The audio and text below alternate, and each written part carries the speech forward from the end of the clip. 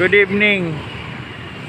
Guys, this is the new Rizal Park of the Pitan City.